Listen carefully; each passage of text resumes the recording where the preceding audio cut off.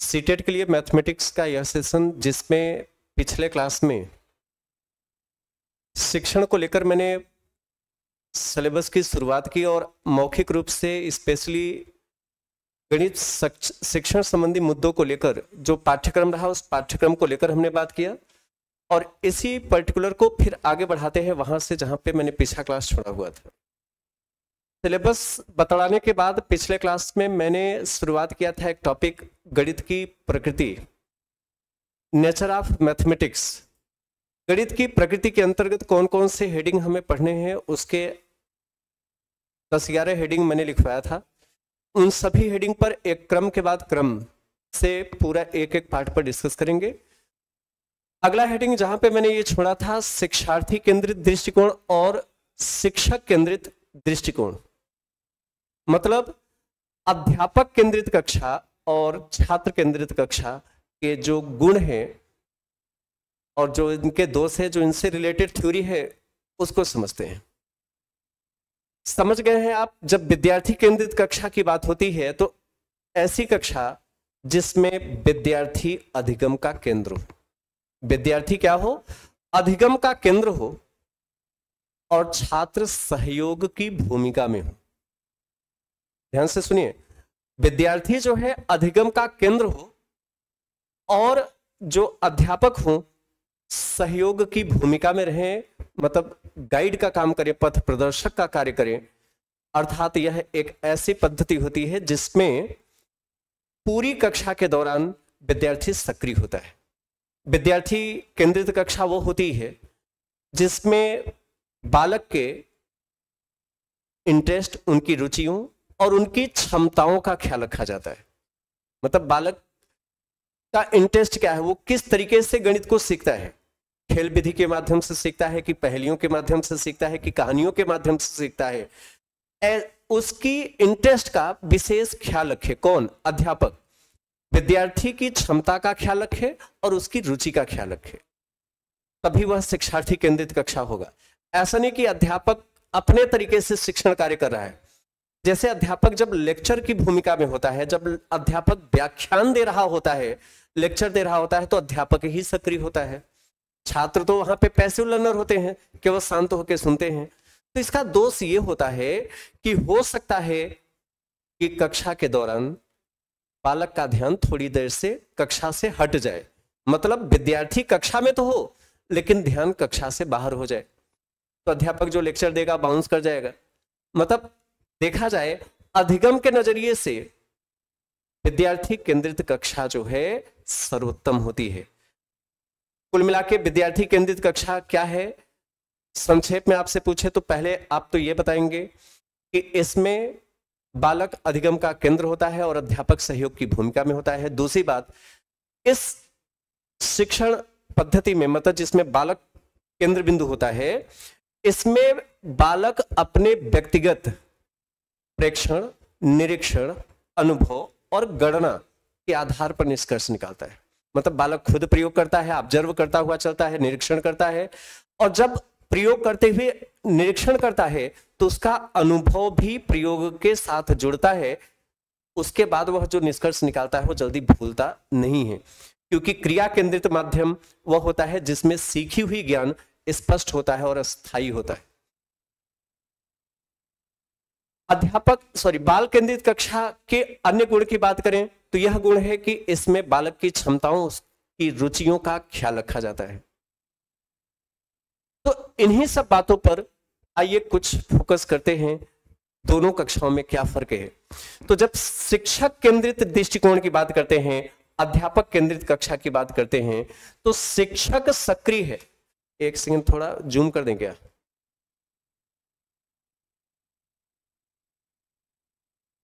ठीक है। अध्यापक केंद्रित दृष्टिकोण की बात करें तो आप कहेंगे शिक्षक सक्रिय हैं और सीखने की प्रक्रिया को निर्देशित करते हैं। जैसे जब व्याख्यान देने की बात आती है, थोड़ा सा मैं अपने लिए जगह बना लू ताकि इस पॉइंट को कुछ समझा दूँ। एक सेकेंड चलिए, अभी ध्यान से सुनिएगा। अध्यापक केंद्रित दृष्टिकोण की बात करें तो अध्यापक केंद्र बिंदु होता है और जो स्टूडेंट होते हैं, यह पैसिव लर्नर होते हैं। थोड़ा ध्यान सुनिएगा, अभी इसके प्रश्न भी करेंगे। ये हमने एस लिखा है, यस जहाँ स्टूडेंट है। तो अब ये नहीं कहना कि स्टूडेंट जो है, टीचर को चारों तरफ़ से घेर लेते हैं। इसका मतलब ये नहीं है। इसका मतलब ये है कि अध्यापक मुख्य केंद्र बिंदु होता है और जो विद्यार्थी होते हैं, जो शिक्षार्थी होते हैं, जो स्टूडेंट होते हैं, यह पैसिव लर्नर होते हैं मतलब शांत होकर सुनते हैं। अध्यापक अपने विचारों को स्टूडेंट के समक्ष रखता है। ये जो तीर हमने यहाँ पे इंडिकेट किया है, ये तीर ये बता रहा है कि अध्यापक अपने विचारों को स्टूडेंट के समक्ष प्रस्तुत करते हैं, जिस पर्टिकुलर पर अध्यापक व्याख्यान दे रहे होते हैं, उससे संबंधित अपने विचारों का शाब्दिक चित्र कक्षा में प्रस्तुत करते हैं। छात्र शांत होकर सुनते हैं। तो विचारों का प्रवाह किधर से होता है? अध्यापक से छात्र की ओर। केंद्र बिंदु कौन है? अध्यापक है। अब आप समझ गए होंगे कि यह शिक्षण पद्धति ऐसा होता है जो अधिगम सिद्धांत के प्रतिकूल होता है। क्यों? क्योंकि जब पूरी कक्षा में अध्यापक ही सक्रिय है तो अध्यापक अपने अनुसार जैसा उसे उचित लगेगा या तो फिर अध्यापक को जो भी इंपॉर्टेंट लगेगा, केवल उस पर्टिकुलर पर अपने विचारों को रखकर बात को समाप्त करता है। लेकिन बालक कहाँ तक सीख पाया? प्रायः इसकी अपेक्षा रहती है। इसलिए अध्यापक केंद्रित दृष्टिकोण, शिक्षण के नज़रिए से देखें तो अधिगम सिद्धांत के प्रतिकूल है। क्योंकि एनसीएफ 2005 कहता है कि बालक को उपदेश देकर नहीं, बल्कि वातावरण देकर ज्ञान को अर्जित कराया जाए। और अध्यापक केंद्रित दृष्टिकोण में अध्यापक एक प्रकार से उपदेश ही देता है। जबकि एनसीएफ 2005 की ये कहता है कि बालक को केवल लेक्चर न दीजिए, व्याख्यान न दीजिए, बल्कि ये चीज़ कैसे हो रहा है, उसके लिए वातावरण स्थापित करिए। बालक के परिवेश से जोड़कर, बालक के दैनिक जीवन से संबंधित होकर कहानियों का गणती खेल और पहेलियों का प्रयोग करके ज्ञान को दिया जाए। तो अधिगम सिद्धांत के प्रतिकूल है, फिर भी इसकी कुछ बातें समझें। ये अध्यापक क्या करते हैं? सीखने की प्रक्रिया को निर्देशित करते हैं। दूसरी बात, छात्रों को शिक्षक या अन्य स्रोतों से प्रेषित जानकारी प्राप्त होती है। मतलब अध्यापक केंद्रित दृष्टिकोण में छात्र को जानकारी कहाँ से मिलती है? अध्यापक से या फिर अन्य स्रोतों से प्रेषित जानकारी प्राप्त होती है। मतलब छपी छपाई जानकारी प्राप्त होती है। या तो अध्यापक लेक्चर देके करता है या तो कहीं से प्रिंट किताबों के माध्यम से। जैसे अध्यापक कहते हैं ना, यहाँ से यहाँ तक नोट कर लीजिए, ये महत्वपूर्ण है। ये अध्यापक केंद्रित दृष्टिकोण है। ये अधिगम सिद्धांत के अनुकूल नहीं होता। लेकिन शिक्षार्थी केंद्रित क्या है? शिक्षार्थी केंद्रित, शिक्षार्थी सक्रिय है और सीखने की गतिविधियाँ शिक्षक द्वारा सुगम की जाती है। सुगम मतलब होता आसान। मतलब विद्यार्थी सक्रिय होते हैं और सीखने की जो गतिविधियाँ हैं, अध्यापक के द्वारा आसान की जाती है, क्योंकि अध्यापक गाइड का कार्य करते हैं, पथ प्रदर्शक का कार्य करते हैं। शिक्षार्थी केंद्रित दृष्टिकोण में छात्र अनुभव के माध्यम से सीखते हैं। मैंने कहा ना, बालक खुद प्रयोग करते हैं निरीक्षण करते हैं, अपने अनुभव के द्वारा, तब जाके कहीं ना कहीं निष्कर्ष निकालते हैं। अतः जो सीखते हैं वो स्थायी होता है। तो छात्र अनुभव के माध्यम से सीखते हैं और सीखने के कार्यों पर चिंतन करते हैं, ये कैसे हो रहा है? अर्थ निर्माण करते हैं कि ये कैसे बन रहा है और ज्ञान का निर्माण करते हैं, जिससे वैचारिक स्पष्टता प्राप्त होती है। वैचारिक मतलब कॉन्सेप्चुअल तो जब कॉन्सेप्चुअली स्पष्टता प्राप्त होगी तो बालक जो सीखेगा, वो जल्दी भूलेगा नहीं। तो पहले मैं साइड होता हूँ, इतनी बातें आप नोट करेंगे, कुछ और बातें फिर प्रश्न करेंगे। आप सभी को शुभ संध्या। हाँ दरअसल हाँ डेली चलेगी। कल जो क्लास रहा, कुछ इंपॉर्टेंट मीटिंग जिसमें आपके हितों को ध्यान में रखकर कंडक्ट हुआ था, उसमें हम सभी लोग उपस्थित रहे, जिस कारण कल की क्लास नहीं हुई, निरंतर क्लासेस होंगी। शाम पाँच बजे मैथमेटिक्स की यह सेशन होगी। इसके पहले चार बजे संस्कृत की क्लास होती है। बाकी रेगुलर क्लासेस जो अपने टाइम टेबल के अनुसार ही चलेंगी। चलिए, इतनी बातें होगी। आइए कुछ और बातें देखते हैं शिक्षक केंद्रित दृष्टिकोण और शिक्षार्थी केंद्रित दृष्टिकोण में। पहले शिक्षक केंद्रित दृष्टिकोण है। दो पॉइंट आपने समझा, तीसरा शिक्षक, देखिए यहाँ पे शिक्षक केंद्रित दृष्टिकोण है। यहाँ पे छात्र केंद्रित। चलिए, अब एक बात समझिएगा, जो अध्यापक केंद्रित कक्षा होती है, इसमें उपदेशात्मक मतलब अध्यापक, पूरी बात वहाँ पे नहीं हुआ था, जिस कारण ये अधूरा सा वाक्य लग रहा है। इसमें क्या होता है, अध्यापक एक प्रकार से उपदेश दे रहा होता है, निर्देश दे रहा होता है, लेक्चर दे रहा होता है जिसके तहत निर्देश पाठ्य पुस्तकों व्याख्यानों आदि पर आधारित होते हैं। मैंने यही कहा ना कि छात्र को जानकारी कहाँ से मिलती है? शिक्षक केंद्रित दृष्टिकोण में छात्र को जानकारी या तो अध्यापक अपने विचारों को डिलीवर करता है, वहाँ से मिलती है, या फिर प्रेषित जानकारी किताबों के माध्यम से, है ना पाठ्य पुस्तकों या व्याख्यान लेक्चर देके वहाँ से जानकारी मिलती है। लेकिन जो छात्र केंद्रित है, इसमें परियोजना मतलब परियोजना क्या होता है? प्रोजेक्ट प्रोजेक्ट क्या होता है? यह करो और सीखे, सीखो के सिद्धांत पर आधारित होता है। जो प्रोजेक्ट मेथड होता है, यह करो और सीखो पर बल देता है। अर्थात यह बालकों को स्वाध्यायी बनाता है, बालक खुद अध्ययन करता है, खुद निष्कर्ष निकालता है। मतलब छात्र केंद्रित दृष्टिकोण में बालक गतिविधियों करके सीखता है और समस्या समाधान और गहन अधिगम की इच्छा होती है। इसमें छात्र केंद्रित दृष्टिकोण में। शिक्षक केंद्रित दृष्टिकोण में शिक्षक जो है, यहाँ शिक्षण नहीं अच्छा ठीक है। शिक्षण और अधिगम की गतिविधियाँ प्रासंगिक नहीं है। क्यों? देखिए, मैं अध्यापक केंद्रित दृष्टिकोण की बात कर रहा हूँ। इसमें एक पॉइंट ये लिखा है कि शिक्षण और अधिगम की गतिविधियाँ प्रासंगिक नहीं है, इसलिए नहीं है, क्योंकि मैंने कहा ना कि अध्यापक केंद्रित में अध्यापक जब व्याख्यान दे रहा होता है तो जैसा उसे उचित लगता है या फिर उसे लगता है कि केवल इन महत्वपूर्ण बातों पर चर्चा करना ही सही है तो वह केवल उन महत्वपूर्ण बातों को ही केंद्र में रख के अपने विचारों को रख देता है। लेकिन मैंने कहा ना कि छात्र कहाँ तक सीखा? प्रायः इसकी अपेक्षा, उपेक्षा होती है। इसलिए शिक्षण और अधिगम की गतिविधियाँ प्रासंगिक नहीं होती। लेकिन जो विद्यार्थी केंद्रित है, छात्र केंद्रित कक्षा है, इसमें अधिगम वास्तविक दुनिया में स्थित सीखने के रूप में प्रासंगिक है। इसलिए अधिगम की अधिक प्रासंगिकता है, क्योंकि बालक वास्तविक दुनिया से या अपने परिवेश से ज्ञान को अर्जित करता है। इसलिए यह अत्यधिक प्रासंगिक है और यह उतनी प्रासंगिक नहीं है। कुछ बातें और इसके बाद भी प्रश्न करेंगे। प्रश्न ही करिए, क्योंकि बस इतनी बातें थी। ये पॉइंट आप लोग इसको पूरा कर लीजिएगा। ये हमने अंतर बताया, छात्र केंद्रित और अध्यापक केंद्रित में। देखते हैं इसके प्रश्न कैसे होते हैं।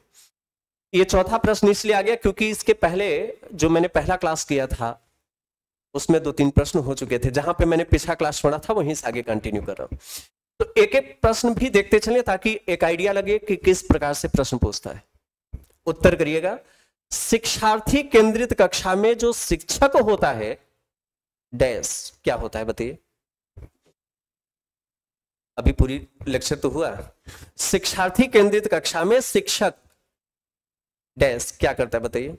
हमने कहा ना कि जो विद्यार्थी केंद्रित दृष्टिकोण है, इसमें बालक अपने व्यक्तिगत प्रेक्षण, निरीक्षण, अनुभव और गणना के आधार पर सीखता है, जबकि अध्यापक क्या करते हैं, बालकों का दिशा निर्देशन करते हैं। मतलब अध्यापक केवल सहयोग की भूमिका में होते हैं, अधिगम कार्य को आसान करते हैं और बालक खुद से प्रयोग करके निष्कर्ष निकालता है। तो शिक्षार्थी केंद्रित कक्षा में शिक्षक क्या होते हैं? बच्चों को अधिगम सुविधा के लिए एक दूसरे के साथ प्रतिस्पर्धा करने के लिए प्रोत्साहित करेंगे। नहीं, प्रतिस्पर्धा मतलब होता है कंपटीशन कंपटीशन अधिगम सिद्धांत के प्रतिकूल इसलिए भी होता है क्योंकि ये इसमें द्वेष भाव होता है। एनसीएफ 2005 प्रतिस्पर्धा पर बल नहीं देता, बल्कि सहयोग, सहयोगात्मक अधिगम पर बल देता है। कंपटीशन कराएँगे तब तो बात गड़बड़ हो जाएगी, है ना? अच्छा शिक्षार्थी केंद्रित कक्षा में शिक्षक जो है, व्यक्त करेंगे क्या? कि वह अपने छात्रों से क्या करने की उम्मीद करते हैं और फिर उन्हें ऐसा करने के लिए दिशा निर्देश करेंगे। क्या यह सही होगा? या फिर लिखा है कि जो शिक्षक हैं, ऐसे तरीके अपनाएँगे जिनसे शिक्षार्थी स्वयं अधिगम के लिए, पहल करने के लिए प्रोत्साहित हो। या फिर शिक्षक मुख्य तथ्यों की व्याख्या करने के लिए व्याख्यान विधि का उपयोग करेंगे और फिर शिक्षार्थी जो है, उनके ध्यान के लिए आकलन करेंगे। नहीं, ये तो अध्यापक केंद्रित दृष्टिकोण है। अध्यापक केंद्रित दृष्टिकोण में यदि आपसे पूछा गया होता, अध्यापक केंद्रित कक्षा में शिक्षक क्या करता है, तब ये है। क्योंकि अध्यापक केंद्रित कक्षा वो होती है जिसमें अध्यापक व्याख्यान विधि का उपयोग करता है मतलब लेक्चर देता है, अपने विचारों को प्रस्तुत करता है, और शिक्षार्थी क्या होते हैं, पैसिव लर्नर शांत होकर सुनते हैं। दो ऑप्शन तो गलत है, आप बताइए क्या करेंगे? काफ़ी लोग सी कह रहे हैं तो कुछ लोग बी भी कह रहे हैं।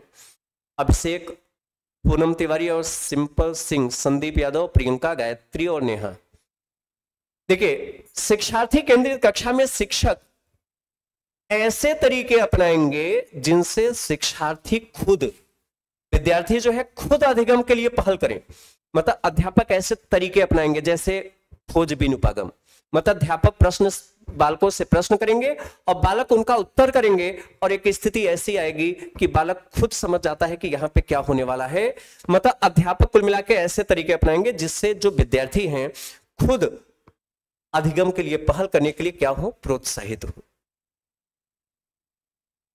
लेकिन यहाँ पे ये चीज़ निगेटिव था। देखिए ये वाला पॉजिटिव था कि फिर अध्यापक उन्हें ऐसा करने के लिए निर, दिशा निर्देश देंगे। देखिए दिशा निर्देश जब देने की बात हो गई ना तो एक प्रकार से जब अध्यापक दिशा निर्देश देता है तो कहीं ना कहीं व्याख्यान पर आधारित होता है।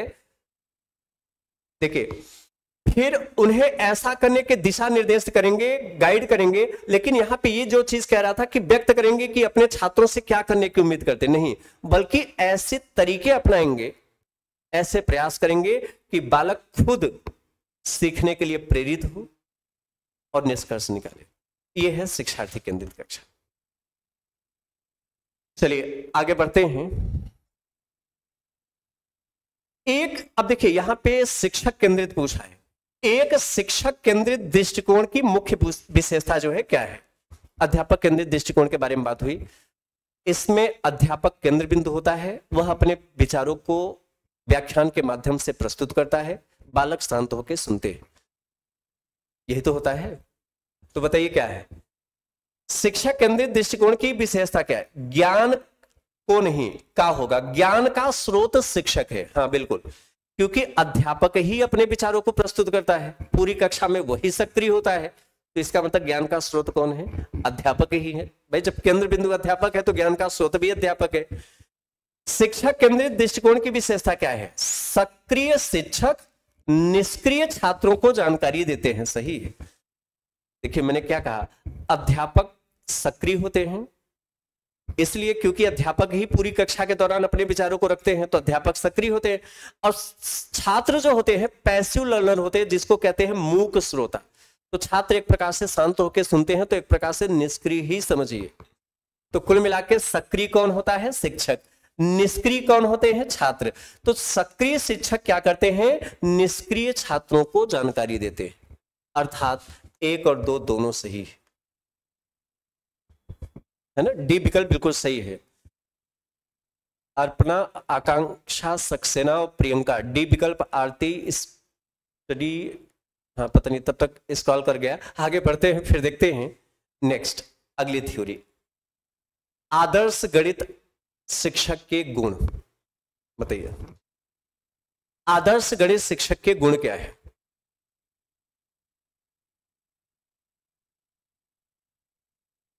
बताइएगा। देखिए, सबसे पहली बात, आदर्श गणित शिक्षक वह है जो विद्यार्थी की रुचियों, उनकी क्षमताओं का ख्याल रखे। आदर्श गणित शिक्षक वह है जो शिक्षार्थियों को मतलब विद्यार्थियों को अपने विचारों को रखने की पूर्ण आज़ादी दे, स्वतंत्रता दे। मतलब ऐसा नहीं कि विद्यार्थी कुछ पूछे तो डांट के बैठा दे। आदर्श गणित शिक्षक कौन है? जो विद्यार्थियों को अपने विचारों को रखने का पूर्ण अवसर दे, बालक की क्षमताओं, उनकी रुचियों का ख्याल रखें, और विषय में अच्छी समझ के साथ विषय को प्रासंगिक बनाने की क्षमता हो मतलब व्यवहारिक बनाने की क्षमता हो। मतलब आदर्श गणित शिक्षक वो है जिसमें विषय की अच्छी पकड़ तो हो ही, साथ ही साथ उसको डिलीवर उसको व्यक्त करने का व्यवहारिक तरीका। बहुत ज्ञान है, लेकिन व्यक्त ठीक से नहीं कर रहे तो आदर्श गणित शिक्षक नहीं मानेंगे। साथ ही साथ उग्र स्वभाव न हो। विशेषकर कक्षा में दंडात्मक स्वभाव बिल्कुल न हो। मतलब आदर्श गणित शिक्षक वो नहीं है जो कक्षा में बच्चों को डांटे या फिर दंडात्मक मतलब पनिशमेंट करे। ये नहीं।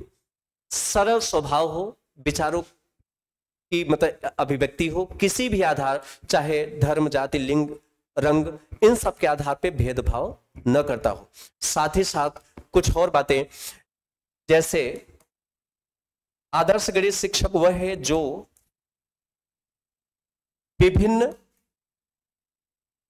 गोष्ठी गोष्ठी का मतलब होता है सेमिनार सेमिनार आदि में पार्टिसिपेट करे। जो विभिन्न गोष्ठी, सेमिनार आदि में पार्टिसिपेट करे, ताकि बालक के लिए और क्या अच्छा कर सकते हैं, इस पर चर्चा। तो यही कुछ बातें हैं। आदर्श गणित अध्यापक के गुण जो है, अभिव्यक्ति की स्पष्टता, विचारों की। उत्साह एवं उपलब्धजनक व्यवहार। उपलब्धजनक व्यवहार मतलब सबके साथ समान व्यवहार। विषय पर पूर्ण आधिपत्य मतलब विषय पर अच्छी पकड़ हो, साथ ही साथ विषय को प्रासंगिक या व्यवहारिक बनाने की क्षमता हो।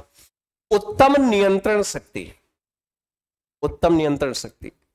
लेकिन यह उत्तम नियंत्रण शक्ति दंडात्मक माध्यम से नहीं हो। व्यवहारिक कुशलता एवं साधन संपन्नता साधन संपन्नता का मतलब समझें, जब किसी पर्टिकुलर प्रसंग को पढ़ा रहा हो तो अलग अलग माध्यम अलग अलग तरीके अलग अलग साधनों का, जैसे विभिन्न गणितीय उपकरणों का भली भांति प्रयोग कराए। और प्रयोगात्मक एवं अनुसंधानात्मक प्रवृत्ति, कैसी टेंडेंसी हो, कैसी नेचर हो, प्रयोगात्मक मतलब जो बालक को प्रयोग करने पर बल दे कि ये चीज़ कैसे हो रहा है। अनुसंधानात्मक मतलब खोज कराने की जिसमें क्षमता हो।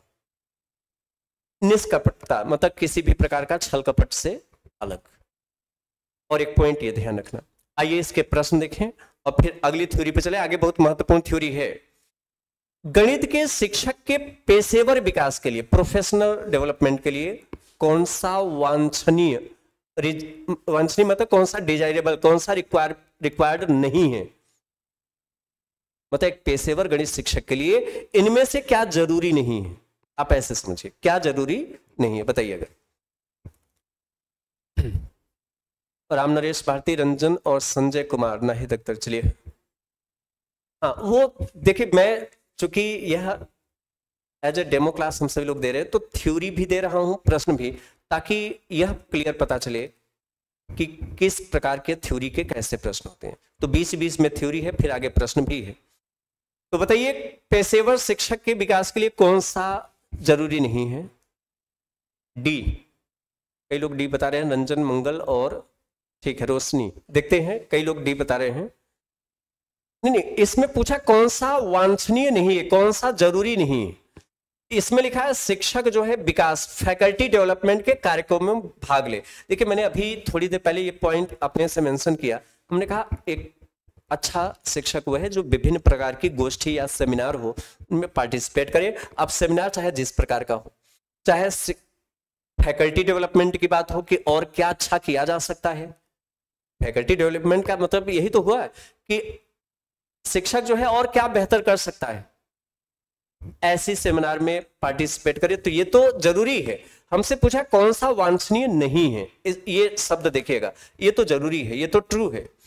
गणित की कार्यशालाओं और गोष्ठियों में उपस्थित हूँ। गणित की देखिए, जितनी भी सेमिनार गोष्ठी का मतलब ही सेमिनार है। तो इन सब में यदि उपस्थित होने, भाग लेने की बात करता है तो ये तो सही है। अब बी और सी में आपको सेलेक्ट करना शिक्षण अधिगम के लिए साधनों को विकसित करिए। हाँ ये पेशेवर शिक्षक जो शिक्षण अधिगम के लिए साधन विकसित करे कि बालक किस किस माध्यम किस किस तरीके से सीख सकता है। इसका मतलब गलत यही होगा। लिखा है कि गणित के शिक्षक के पेशेवर विकास के लिए कौन सा ज़रूरी नहीं है? तो इसमें लिखा है, अपने और दूसरे विद्यालय के गणित के शिक्षकों के साथ न्यूनतम वार्तालाप। नहीं, न्यूनतम नहीं, अधिकतम। क्योंकि इससे मदद मिलती है कि और क्या बेहतर हो सकता है। इसलिए अपने क्लास के शिक्षक और अन्य मतलब अपने विद्यालय के शिक्षक और अन्य विद्यालय के भी शिक्षक के साथ अधिकतम वार्तालाप करें ताकि सीखने सिखाने की प्रक्रिया और मज़बूत हो सके। कमियों को दृष्टिगत रखकर उनका निवारण कर सके कि कहाँ पे कैसी चीज़ें और सुधार हो सकती है। तो हम लोग सी विकल्प जाएँगे क्योंकि यही ज़रूरी नहीं है, बाकी ए, बी, डी ज़रूरी। है आते हैं कुछ अगले थ्योरी पर। देखिए टॉपिक हम लोगों का चला है गणित की प्रकृति। तो अब हेडिंग है गणित की प्रकृति नेचर ऑफ़ मैथमेटिक्स बहुत ही इंपॉर्टेंट है और विशेषकर गणित की प्रकृति और एक पूछा जाता है गणित में अवधारणाओं की प्रकृति। दोनों से बहुत प्रश्न सीटेड में बनते हो, चाहे फ़र्स्ट पेपर हो, चाहे सेकंड एक बार मैं फिर से स्पष्ट कर दूँ। प्राइमरी में फ़र्स्ट पेपर में पंद्रह प्रश्न शिक्षण के और जूनियर में दस प्रश्न शिक्षण के हैं और शिक्षण का पाठ्यक्रम लगभग एक ही है। तो यह जो पार्ट चल रहा है पेडोलॉजी का फ़र्स्ट एंड सेकंड दोनों पेपर के लिए। तो गणित की प्रकृति और धाराओं की प्रकृति, दोनों से बहुत प्रश्न बनते हैं तो गणित के नेचर की बात करें तो आप क्या बताएँगे? अच्छा मैं एक अपने से विकल्प लिखता हूँ, जबकि मैंने कोई थ्योरी नहीं बताया, लेकिन आप आसानी से उत्तर कर लेंगे। जैसे मैं पूछूँ कि गणित की प्रकृति क्या है? विकल्प दू, कठिन है। बी लचीला है फ्लेक्सिबल मतलब न तो कठिन, न तो सरल फ्लेक्सिबल है। या फिर एक लिख देता हूँ, सामान्य के लिए नहीं नॉट फॉर कॉमन सामान्य के लिए नहीं। और डी हमने लिखा, सरल एवं अन्य विद्यालयी पाठ्यक्रम की अपेक्षा सुदृढ़, सरल एवं अन्य विद्यालयी पाठ्यक्रम की अपेक्षा सुदृढ़ मतलब मज़बूत। अभी देखिए, मैं थ्योरी सेट कर, मैं एक सवाल लिया कि गणित की प्रकृति क्या है? मैंने विकल्प दिया, कठिन है कि लचीला है कि सामान्य के लिए नहीं, कि सरल है और अन्य विद्यालय पाठ्यक्रम की अपेक्षा सुदृढ़। देखिए कभी कभी हम क्या करते पता है? अपने अनुसार उत्तर देते अपने अनुसार मतलब जैसे मान लिया हमें, सपोज़ करें मान लिया हमें गणित नहीं आता तो हम कहते हैं, नहीं नहीं, गणित की प्रकृति कठिन है। हम विकल्प ए लगा देते हैं। कभी कभी हमें लगता है, नहीं, थोड़ा आता है, थोड़ा नहीं आता है तो हम मध्यम मार्ग अपना लेते हैं, कहते नहीं, लचीला है, ना तो कठिन है, ना सरल है, ठीक है ठीक ठाक है। तो अपने अनुसार उत्तर नहीं देना। दरअसल गणित की जो प्रकृति है अच्छा सी लिखा है, सामान्य के लिए नहीं। तो क्या मंगल ग्रह वालों के लिए होता है? भाई, गणित तो सबके लिए है।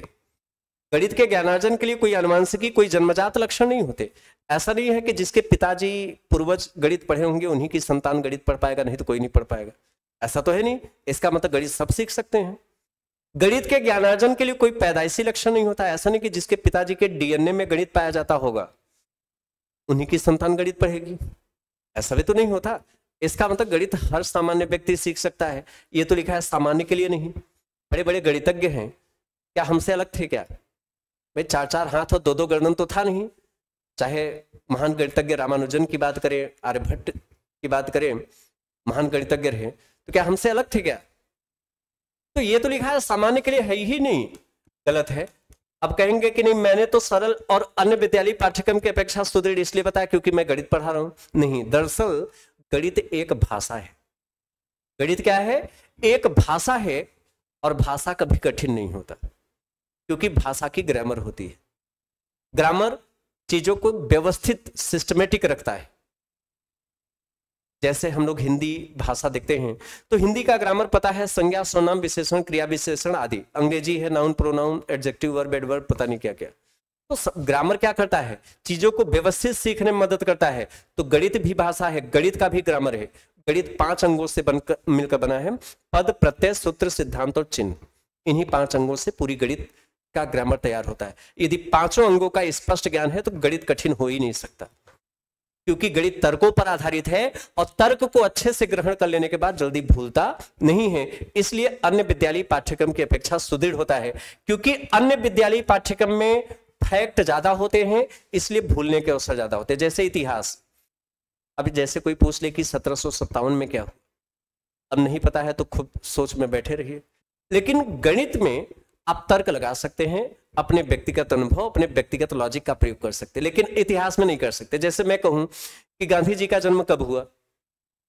अब नहीं पता है तो कितना भी तर्क लगा लीजिए। भाई, हमारे तर्क से तो उनके जन्म का कोई लेना देना तो होगा नहीं। तो गणित की प्रकृति सरल है और अन्य विद्यालय पाठ्यक्रम की अपेक्षा क्या है? सुदृढ़ आइए बात करते हैं गणित की प्रकृति की। गणित में अमूर्तता और दृश्यता शामिल है। अमूर्तता इसलिए शामिल है क्योंकि गणित की जितनी भी धाराएँ होती हैं, अमूर्त होती है। बात नोट करिएगा। गणित की सभी संकल्पनाएँ अभी शायद आगे आएगा भी। गणित की सभी संकल्पनाएँ अमूर्त होती हैं क्योंकि इसे व्याख्या की ज़रूरत है। जैसे हम कहते हैं कि आधार प्रकाश शून्य हो तो मान एक होता है तो एक ही क्यों होता है? यह अमूर्त है। ये क्या है? अमूर्त। हाँ जब इसकी व्याख्या कर दूँगा, तब यह हो जाएगा मूर्त।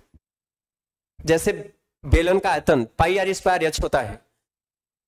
पाई आर स्क्वायर एच होता है और पाई आर स्क्वायर एच क्यों होता है? ये तो अमूर्त है लेकिन क्यों होता है? जब इसकी व्याख्या की जाएगी तब वह सही होगा।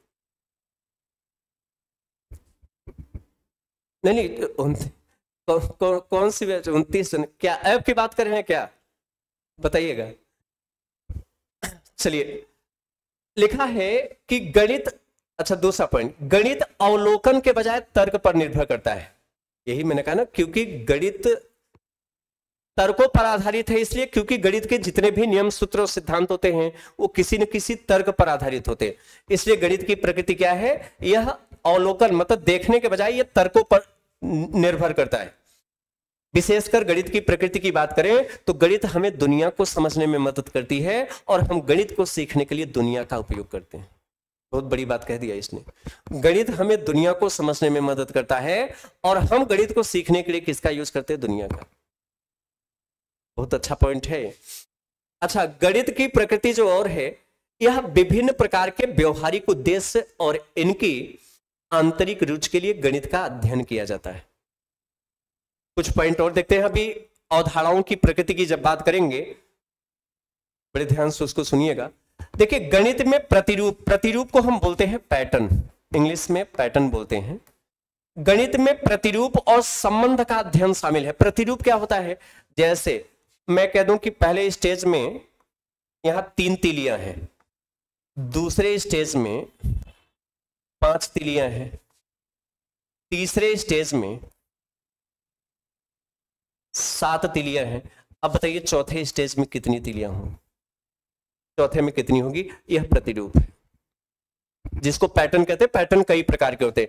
तो गणित में क्या शामिल है? किसका अध्ययन शामिल है? गणित में प्रतिरूप पैटर्न का अध्ययन शामिल है और संबंध का। ये कैसे हो रहा है? जैसे दो दो का बढ़ता क्रम है कि तीन तीन का बढ़ता क्रम है, इस संबंध का अध्ययन किया जाता है। और गणित जो है, वास्तविक दुनिया से जुड़ता है। गणित के अन्य नेचर की बात करें तो कुछ पॉइंट और आप लिखिएगा।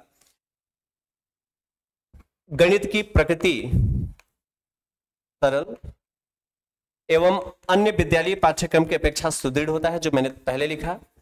गणित की प्रकृति सरल एवं अन्य विद्यालय पाठ्यक्रम की अपेक्षा सुदृढ़ होता है। सुदृढ़। सुदृढ़ का मतलब यहाँ पे जल्दी भूलता नहीं है। इस उद्देश्य से यह है। और गणित की प्रकृति जो होती है, ये क्या होती है? क्रमबद्ध होती है। सीक्वेंस में गणित की प्रकृति क्रमबद्ध होती है, यथार्थ होती है एग्जैक्ट गणित की प्रकृति क्रमबद्ध, यथार्थ और अधिक स्पष्ट होती है। अधिक स्पष्ट ऑबियस होती है। ऑबियस होती है और साथ ही साथ गणित की जो प्रकृति है, तार्किक होती है लॉजिकल गणित की प्रकृति क्या होती है? तार्किक। तो गणित की प्रकृति क्रमबद्ध क्यों होती है? क्योंकि एक धारणाएँ और कई धारणाओं को जन्म देती है। मतलब एक कॉन्सेप्ट से और कई कॉन्सेप्ट बनते हैं और ये तभी संभव है जब ये क्रमबद्ध।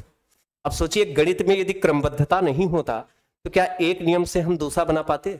या दूसरे से क्या तीसरा बना पाते? नहीं। इसलिए एक से कई नियम बनते हैं क्योंकि गणित में क्रमबद्धता है। जैसे हम जोड़ सीखते हैं तो क्या जोड़ का प्रयोग फिर आगे और कहीं नहीं होता क्या? कई जगह होता है। तो कहने का मतलब गणित का जब एक कॉन्सेप्ट सीखते हैं तो वहाँ से और कई बनते हैं। इस, और ये तभी संभव है जब गणित में क्रमबद्धता होगी। जैसे चैन चैन की क्या होती? एक कड़ी दूसरा, दूसरे से तीसरा कड़ी जुड़ता है, तीसरे से चौथा। तो इस तरीके से पूरा चैन बनता है। इसी प्रकार गणित। गणित की एक धारणा दूसरे को जोड़ती, दूसरा तीसरे को, तीसरा चौथे से उसी से पूरा गणित बना। तो ये तभी समझ जब क्रमबद्ध है। यथार्थ का मतलब जो आज भी है, कल भी रहे, जो कल भी था। जैसे हम लोग छोटे थे तो दो प्लस तीन बराबर पाँच पढ़ते। बड़े हो गए तो तो भी दो प्लस तीन बराबर पाँच। और पीएचडी कर लेंगे गणित में तो भी दो प्लस तीन बराबर पाँच ही पढ़ेंगे। ये यथार्थ है। जो कल भी था, आज भी ये कल भी रहे। आधार पे घास शून्य बराबर एक यहाँ होता है। तो दुश्मन देश पाकिस्तान में भी होता होगा। भाई दुश्मन देश नहीं कहूँगा, वहाँ एक मंत्री का ध्यान आ गया। तो कहने का मतलब ये है कि गणित के जो भी कॉन्सेप्ट होते हैं, वो यहाँ सही है तो हर जगह सही है। ऐसा नहीं कि भारत में कुछ और होगा तो चीन में कुछ और होगा। और जब ये सब होगी तो अधिक स्पष्ट होगा ही। आइए देखते हैं इसके कुछ प्रश्न। अच्छा आगे लिखा है। गणित की प्रकृति के बारे में लिखा है। गणित की अपनी भाषा है। सबसे पहले मैंने यही कहा। सबसे पहले, थोड़ी देर पहले मैंने ये बात रखा कि गणित इसलिए सरल है इसलिए अन्य विषयों की अपेक्षा सुदृढ़ है, क्योंकि यह भाषा है और भाषा कठिन नहीं होती, क्योंकि भाषा का ग्रामर होता है। तो गणित की अपनी भाषा है, यहाँ भाषा का अभिप्राय अभिप्राय मतलब मतलब यहाँ भाषा का जो मतलब है किससे है? गणतीय पद, गणतीय प्रत्यय, गणतीय सूत्र, गणतीय सिद्धांत और संकेत मतलब चिन्ह। इसको कहते हैं गणतीय पद का मतलब टर्म प्रत्यय को इंग्लिश में बोलते हैं कॉन्सेप्ट सूत्र को बोलते हैं फार्मूला सिद्धांत को बोलते हैं प्रिंसिपल और चिन्ह को बोलते हैं सिंबल तो गणित का ग्रामर इन्हीं पाँच पर बेस है। पद, प्रत्यय, सूत्र, सिद्धांत और चिन्ह। इसलिए गणित जो है अन्य विषयों की अपेक्षा सुदृढ़ होता है। साथ ही साथ गणित का ज्ञान, ये चीज़ें मैंने लिखा है यथार्थ होता है, क्रमबद्ध होता है, तार्किक होता है, अधिक स्पष्ट। ये चीज़ें मैंने लिखा है हमें लगा आगे नहीं है, मैं ही लिख दू। लेकिन आगे टाइप था। अच्छा इसे एक बार अच्छे से ग्रहण कर ले मतलब सीख ले तो ये जल्दी भूलता नहीं है। आइए, देखते हैं कुछ प्रश्न इसके गणित की प्रकृति को लेकर। बताइए, अब ये सवाल है। थ्योरी तो आपने समझ लिया। अब देखते हैं प्रश्न। हाँ डेली होगी और आगे मैं पूरे टॉपिक के जो महत्वपूर्ण थ्योरी है, वो थ्योरी जैसे अभी पैमला लिबे की, आप एल्पस सिद्धांत जाज पोलिया की समस्या समाधान, न्यूमैन का त्रुटि विश्लेषण, वेनहिलिया का जामिति विचार और कई प्रासंगिक थ्योरी हैं, जिन पर क्रमबद्ध चर्चा होगी।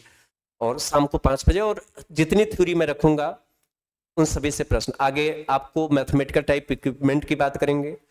जैसे जियो बोर्ड का प्रयोग कहाँ होता है टेनग्राम का, और बिंदु सीट, डाट पटल क्या है, जियो जेब्रा सॉफ्टवेयर क्या है, और ग्राफ पेपर क्या है, संख्या चार्ट क्या है, इन सबकी पूरी विधिवत भी चर्चा होगी। फ़िलहाल अभी देखते हैं ये लिखा है, निम्न में से कौन सी गणित की प्रकृति के अनुसार सही है? गणित के नेचर के अनुसार क्या सही है? गणित की अपनी भाषा है, बिल्कुल। पद, प्रत्यय, सूत्र, सिद्धांत, चिन्ह इसके पाँच अंग है, ये सही है। किसी भी गणितीय समस्या का केवल एक हल होता है, ये गलत है। किसी भी गणितीय समस्या का केवल एक हल होता है, गलत है, क्योंकि कई प्रश्न ओपन इंडेड टाइप के होते हैं। अभी आगे आप ओपन इंडेड भी पढ़ेंगे। ओपन इंडेड होता है, खुले अंत का प्रश्न। कई प्रश्न गणित में ओपन इंडेड टाइप होते हैं, जिसके एक से अधिक उत्तर होते हैं। जैसे, मैं आपसे कह दूँ कि कोई दो संख्या बताइए, जिसका गुणनफल चौबीस हो। कोई दो संख्या बताइए, जिसका गुणनफल चौबीस हो। तो क्या इस समस्या का केवल एक हल हुई नहीं। एक गुड़ा चौबीस भी हो सकता है तो दो गुड़ा बारह भी हो सकता है। तीन गुड़ा आठ हो सकता है तो चार गुड़ा छह भी हो सकता है। तो ये कहना कि किसी भी प्रश्न का केवल एक हल होता है तो ये गलत है, क्योंकि कई सवाल ओपन इंडेड टाइप के होते हैं और जितने भी ओपन इंडेड टाइप के क्वेश्चन होते हैं, सबके कई एक से अधिक उत्तर हैं। गणितीय अवधारणाएँ अमूर्त होती हैं हाँ। देखिए, गणितीय अवधारणाएँ अमूर्त होती हैं, क्योंकि इसे व्याख्या की ज़रूरत है तो सही है ए और सी सही है ए और सी बी बिल्कुल गलत है, और बी यहाँ भी है बी यहाँ भी है बी यहाँ भी है तो ये तीनों तो खुद ही कब्र क्षेत्र के बाहर चले गए, बचा तो वही। देखते हैं अगला प्रश्न। गणित के स्वरूप नेचर गणित के नेचर के संदर्भ में कौन सा सही नहीं है? बताइए, गणित के नेचर के बारे में आपने पढ़ा? बताइए, गणित के नेचर के बारे में क्या सही नहीं है? लिखा है, गणित में प्रतिरूप। पैटर्न और संबंध की पढ़ाई सम्मिलित है। जी बिल्कुल। और इसको हमने प्रतिरूप को बताया, इसको पैटर्न कहते हैं और एक इसका एग्ज़ाम्पल भी लिया था। है ना? तो गणित में प्रतिरूप और संबंध की पढ़ाई सम्मिलित है, बिल्कुल है। गणित संख्याओं की पढ़ाई तक सीमित है। नहीं नहीं, ये तक सीमित कर दिया ना गणित केवल संख्या की पढ़ाई तक सीमित नहीं है, क्योंकि गणित एक बृहद विज्ञान है। गणित केवल अंक गणित ही नहीं गणित केवल विज्ञान ही नहीं, बल्कि एक बृहद विज्ञान है। चाहे जो भी शाखा लीजिए, विज्ञान की सब में गणित का यूज़ है। तो केवल संख्या तक नहीं, गणित संख्या और स्थान का विज्ञान है तो गणित मापन मात्रक और दिशा का विज्ञान है। तो ये कहना कि गणित केवल संख्याओं संख्याओं की पढ़ाई तक ही सीमित है, ये गलत है। अब कहते हैं, अंग्रेज़ी केवल एबीसीडी तक सीमित है तो क्या आप मानेंगे? तो ये जो तक सीमित है, गलत है। गणित में अमूर्तिकरण और मानस दर्शन विजुअलाइजेशन शामिल है। हाँ बिल्कुल। गणित में मानस दर्शन मतलब विजुअलाइजेशन दृश्यकरण, अमूर्तिकरण शामिल है, क्योंकि गणित के जितने भी कॉन्सेप्ट होते हैं, सब अमूर्त ही होते हैं, छिपे होते हैं। जब उसको व्याख्या करते हैं, तब वो मूर्त होता है। तो ये भी सही है। और गणित वास्तविक संसार से जुड़ा है। देखिए, मैंने लिखवाया भी था कि गणित हमें दुनिया को समझने में मदद करती है। और हम दुनिया को समझने के लिए गणित का उपयोग करते हैं। गणित वास्तविक संसार से क्या है, जुड़ा है। तो गलत कौन सा है? बी काफ़ी देर से आप सभी का उत्तर आ रहा है। बी हाँ साक्षी अलका उपाध्याय, आकांक्षा रोहित और नाहिद अख्तर। मुस्कान मिश्रा और, ठीक है, लक्ष्मण कुमार सिंह, सौम्या नायक, ठीक है ना? बी विकल्प आप बता रहे हैं, बिल्कुल सही है। क्योंकि जो गलत है, वही सही है। क्योंकि हमसे गलत ही तो पूछा है। लिखा है, निम्नलिखित में से कौन सा कथन सही नहीं है? कौन सा कथन सही नहीं है? लिखा है, गणित एक ऐसा विषय है जो अधिकांश अमूर्त अवधारणाओं से बना है। बिल्कुल, गणित की जितनी भी धाराएँ होती हैं, सब अमूर्त ही होती ये चीज़ बिल्कुल माइंड में सेट कर लीजिए, ऐसे कई प्रश्न बनेंगे, ऐसे कई विकल्प बनेंगे, जिसमें ये चीज़ आएगी। तो ये बिल्कुल माइंड में सेट करना, गणित की सभी अवधारणाएँ अमूर्त होती है। ये नेचर है। गणितीय समस्याओं के समाधान सॉरी गणितीय समस्याओं के समाधान पर पहुँचने का सिर्फ़ एक सही तरीका है। देखिए, यही चीज़ तो हमने अभी थोड़ी देर पहले गलत किया। किसी भी समस्या के समाधान तक पहुँचने का केवल एक तरीका यह गलत है। क्योंकि कई प्रश्न ओपन इंडेड होते हैं, जिसके कई तरीके से उत्तर कर सकते हैं। जो लोग पढ़ या लिख नहीं सकते, उन्हें भी गणितीय ज्ञान होता है। जी, बिल्कुल होता है। जो लोग पढ़े लिखे नहीं होते, उन्हें भी गणितीय ज्ञान होता है। कई आपको परिवेश में ही मिल जाएँगे, जो पढ़े लिखे नहीं है, लेकिन अभी कुछ रुपए का नोट दे दीजिए, बताइए कितना सामान ले लीजिए, इतने की दर से। तो बिल्कुल कैलकुलेशन कर लेंगे हाँ इतना हुआ और इतना बचेगा भी। तो इसका मतलब जो पढ़े लिखे नहीं है, उन्हें भी उन्हें भी गणितीय ज्ञान होता है। यदि सामाजिक प्राणी है तो मतलब यदि जीवित जीवित है, सामाजिक प्राणी है तो सबको कहीं ना कहीं गणितीय ज्ञान होगा ही होगा। देखिए, ये मैं एक चीज़ और बता दूँ कि गणित वह भाषा है जिसमें व्यक्ति अपनी मातृभाषा के बाद जिस भाषा का सर्वाधिक प्रयोग करता है, वो गणित ही है। सही बोल रहा हूँ कि नहीं? देखिए, ये ज़िंदगी ही गुड़ा गणित का है। व्यक्ति सुबह सो के उठता है, रात सोने तक पूरा गुड़ा गणित में ही निकल जाता है कि आज इतने की व्यवस्था, कल इतने की व्यवस्था। कहने का मतलब ये है कि व्यक्ति मातृभाषा को छोड़ दे तो वो जिस भाषा का सर्वाधिक प्रयोग करता है, वो क्या है? गणित ही। देखते हैं अच्छा ये गणित की अधिकांश उप शाखाओं में अंतर संबंध होता है। हाँ गणित की जितनी भी अन्य उप शाखाएँ होती हैं, कहीं ना कहीं सब में कनेक्शन होता है, जुड़ा होता है। तो यहाँ भी दूसरा सही नहीं है। भाई, जो गलत है, वही सही लगाइए। देखते हैं, अगला प्रश्न। अच्छा प्रश्न पर अब देखिए, अभी तो गणित की प्रकृति के बारे में आपने देखा अब गणित की अवधारणाओं की प्रकृति के बारे में। अवधारणा का मतलब होता है कॉन्सेप्ट तो गणित में कॉन्सेप्ट का क्या नेचर होता है? यहाँ से भी प्रश्न बहुत बनते हैं। तो देखिए, ये चीज़ें आ गई। जिसकी मैं बार बार बात कर रहा था, इसको बिल्कुल माइंड में रखिएगा। कई जगह यूज़ होगा, वो बात फिर से आ गई। गणित में अवधारणाओं की प्रकृति क्या है? गणितीय अवधारणाएँ अमूर्त है। क्योंकि इसे व्याख्या की ज़रूरत है। है ना? अब इसमें क्या क्या लिखा है, ये चीज़ें पढ़ लीजिएगा, लेकिन मेन मेन चीज़ें मैं, गणितीय अवधारणाएँ क्या है? अमूर्त है। क्योंकि इसे व्याख्या की ज़रूरत होती है।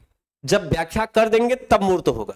लेकिन अवधारणा का मतलब कॉन्सेप्ट या नियम, गणित का जो भी नियम होता है, क्या होता है? छिपा ही तो होता है। सही है? नेक्स्ट गणित, देखिए, अवधारणाओं के नेचर की बात कर रहा हूँ। गणितीय अवधारणाएँ तार्किक होती हैं, क्योंकि गणित तर्कों के बारे में गणित के जितने भी नियम, सूत्र, सिद्धांत बनते हैं, किसी न किसी तर्क पर ही आधारित होते यदि घन का आयतन भुजा का क्यूब होता है तो इसके पीछे भी निश्चित तर्क है कि भुजा का क्यूब ही क्यों होता है। हर कॉन्सेप्ट के पीछे एक तर्क होता है। बिना तर्क के आज तक कोई कॉन्सेप्ट न बना है, न बनेगा। तो गणितीय अवधारणा कैसे होती है? तार्किक होती है। ये दो पॉइंट ध्यान रखिएगा। आइए बढ़ते हैं आगे। बाकी इसके अंतर्गत जो भी चीज़ें लिखा है उसको आप पढ़ लीजिएगा। हाँ अब देखिए गणितीय अवधारणाएँ निगमनात्मक तर्क पर आधारित होती है, क्योंकि गणित तथ्यों के बारे में। क्योंकि गणित किसके बारे में है? तथ्यों के बारे में है। फैक्ट।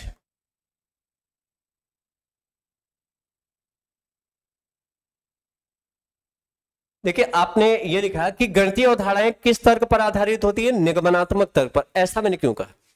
देखिए, गणित के जो भी कॉन्सेप्ट होते हैं, वो चीज़ें हम रटते ही तो है ना। और जितनी भी चीज़ें आप रटते हैं, वह एक फैक्ट ही होता है। और जो निगमनात्मक तर्क है, इसी पर आधारित होता है, क्योंकि निगमन का मतलब होता है, यह रटने पर केंद्रित विधि है। इसीलिए निगमन विधि को हम लोग लर्निंग सेंटर्ड मेथड के नाम से भी जानते हैं। निगमन विधि को हम किस नाम से जानते हैं? Learning centred method. अब देखिए, एक बात, छोटी सी एग्जांपल लेके इस बात को मैं स्पष्ट करता हूँ। जैसे मैं आपसे कह दूँ कि किसी सम चतुर्भुज में भुजा के वर्ग का चार गुना दोनों विकर्ण के वर्ग के योग के बराबर होता है तो यह गणित की अवधारणा है। अवधारणा मतलब कॉन्सेप्ट है। जब मैं आपसे कहता हूँ कि किसी सम चतुर्भुज में भुजा के वर्ग का चार गुना दोनों विकर्ण के वर्ग के योग के बराबर होता है तो यह गणित का कॉन्सेप्ट है और यह जो कॉन्सेप्ट है, यह कॉन्सेप्ट क्या है? फैक्ट है। और यह फैक्ट है तो हमें एक प्रकार से इसे रटना होगा। इसका मतलब किस तर्क पर आधारित है? निगमनात्मक। गणित में केवल निगमनात्मक प्रमाण ही स्वीकार किए जाते हैं, क्योंकि गणित तथ्यों के बारे में यही चीज़ मैंने लिखा। इसको थोड़ा समझिएगा। और एक सबसे महत्वपूर्ण बात क्या गणितीय अवधारणाएँ रैखिक नहीं होती। रैखिक नहीं होती का मतलब यह है कि गणितीय अवधारणाएँ इसका मतलब यह है, अर्थात अर्थात गणितीय अवधारणाएँ जटिल जाल तंत्र बनाती है। गणितीय अवधारणाएँ क्या बनाती हैं? जटिल जाल तंत्र गणितीय अवधारणाएँ क्या बनाती है? जटिल जाल तंत्र अच्छा बनानी नहीं, बनाती हैं। इसका मतलब समझिए, क्योंकि जैसे ये हो गया गणित का कॉन्सेप्ट ये हो गया गणित के कॉन्सेप्ट तो हो सकता है इसके दो सब कॉन्सेप्ट हो। हो सकता है इसके दो सब कॉन्सेप्ट हो। अब हो सकता है इससे और कई कॉन्सेप्ट बने, या हो सकता है इससे और बने। तो कहने का मतलब ये होता है कि गणित की जो अवधारणाएँ होती हैं, ये कैसा तंत्र बनाती है? जटिल जाल तंत्र। एक से दूसरा, दूसरे से तीसरा, तीसरे से और ढेर सारे, कई बनते। तो यह रैखिक हो ही नहीं सकता। रैखिक का मतलब जब एक धारणा केवल एक पर ही केंद्रित हो तो ये रैखिक है। क्या ऐसा है कि गणित का एक नियम केवल एक ही जगह लगता है, बाकी लगता ही नहीं? ऐसा बिल्कुल नहीं है, क्योंकि एक नियम से कई नियम बनते हैं। तो गणितीय अवधारणाएँ रैखिक नहीं होती, बल्कि कैसी होती हैं? गणितीय अवधारणाएँ जटिल जाल तंत्र बनाती हैं। अब देखते हैं इसके प्रश्न कैसे बनते हैं। इसका प्रश्न देखें बताइए। लिखा है, गणित में अवधारणाओं कॉन्सेप्ट की प्रकृति के बारे में कौन सा सही नहीं है? बताइए। गणित के कॉन्सेप्ट के बारे में क्या सही नहीं है? अवधारणाओं के बारे में। लिखा है गणित अवधाराओं की प्रकृति अमूर्त है, बिल्कुल हंड्रेड परसेंट गणित में अवधाराएँ रैखिक रूप से व्यवस्थित होती है, यही गलत है, ये फाल्स गणितीय अवधारणाएँ प्रकृति से तर्क संगत होती है, नेचर होती है, क्योंकि गणित की जितनी भी धाराएँ होती हैं, तर्क पर ही तो आधारित होती हैं। गणित में अवधाराएँ निगमनिक विवेचन या निगमनिक तर्कड़ा तर्कड़ा पर आधारित होती है, बिल्कुल सही। तो गलत क्या है? ये वाला। अच्छे से पूरे पॉइंट आप लोग पढ़े रहे। चलिए। इस प्रश्न के लिए आप उत्तर करेंगे, क्योंकि गणित में अवधारणा की प्रकृति आप पढ़ चुके हैं तो ये होमवर्क के रूप में मैं दे रहा हूँ। अगली क्लास जब मैं करूँगा तो थॉट की बात होगी, और थॉट में दो प्रकार के thought convergent and divergent convergent and divergent की बात होगी। इसके अंतर्गत बंद अंत वाले प्रश्न बनते हैं और जो डाइवर्जेंट है, इसके अंतर्गत खुले अंत वाले प्रश्न बनते हैं और लगभग लगभग पेपर में खुले अंत और बंद अंत के सवाल बराबर देखने को मिलते हैं। तो एक बहुत ही इंपॉर्टेंट थ्योरी होगी ये, गणित में सोच के तरीके। अभिसारी और अपसारी। तो इसकी शुरुआत अगली क्लास में करूँगा, इसका उत्तर आप सभी लोग कमेंट बॉक्स में बाद में देंगे। आज इतना ही। मुलाकात करते हैं नेक्स्ट सेशन में आप सभी को।